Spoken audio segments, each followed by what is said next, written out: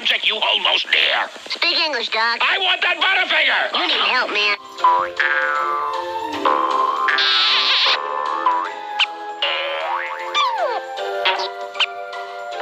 Space Tune! قناة شباب المستقبل Wait, boy! Your hour's not up yet! Sorry, man. But nobody better lay a finger on my Butterfinger.